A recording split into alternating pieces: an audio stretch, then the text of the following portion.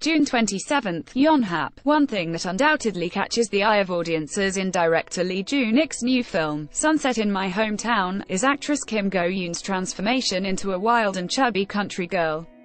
The actress gained 8 kilograms for her role as Seon-mi, protagonist Hak Soo's high school classmate and a public employee at a rural township office.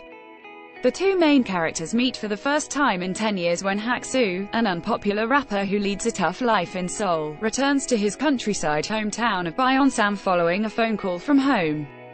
I was really happy because I tend to find great happiness in eating, Kim said during an interview with Yonhap news agency at a cafe in central Seoul on Wednesday. I didn't mind eating even late at night and getting my face swollen from eating too much, and I liked that. Kim said the director never asked her to gain weight but that she conceived the idea of putting on a few pounds as soon as she read the screenplay.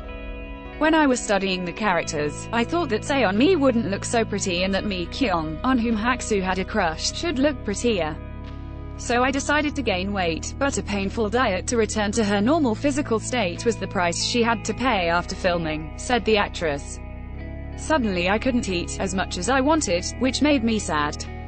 I had a diet for two months, constantly asking myself such questions as, what am I living for, and, am I happy now? Sunset marks her return to the screen after she gained huge popularity in and out of the country for her role in the Korean drama sensation, Guardian, The Lonely and Great God. Questioned about her motive in choosing the film, Kim said she wanted to heal herself while carrying out a less demanding character. After finishing Guardian, I was trying to find something that could help heal me. I thought it would be better if I could do some amusing and less demanding role, and received the offer to appear in Sunset at just the right moment. Seon-mi has won a local literary award for her book of essays titled Sunset Mania. As a literary writer, her lines touch the hearts of many people. Asked which of her lines was the most memorable, Kim singled out one that said, Don't be a loser even if you can't afford to be well-to-do. I think the nuance and meaning of the line touched my heart the most.